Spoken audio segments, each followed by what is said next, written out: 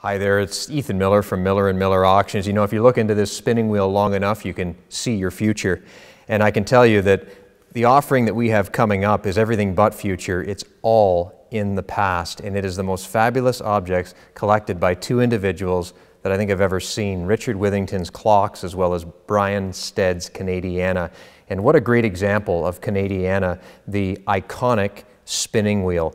Uh, we take for granted textiles and all of these things that are made in factories far from us, but really it was hard work to make things back in the day, and they all happened at these incredible spinning wheels. A lot of these wheels were made by known makers and they stamped them on the ends. In this case, this is a very well done wheel, but no maker is apparent.